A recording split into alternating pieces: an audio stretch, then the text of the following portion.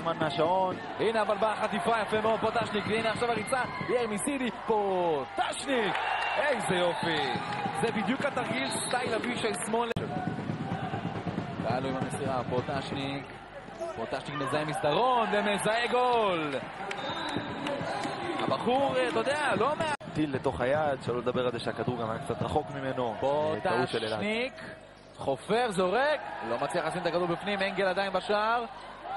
אברבוש, הנה הניסיון של חולון לרוץ. קדימה, פוטשניק סמואל סמואל מנסה לחטוף לו, פוטשניק עד הסוף, איזה לתוך דהירה. הרשת, 19-17.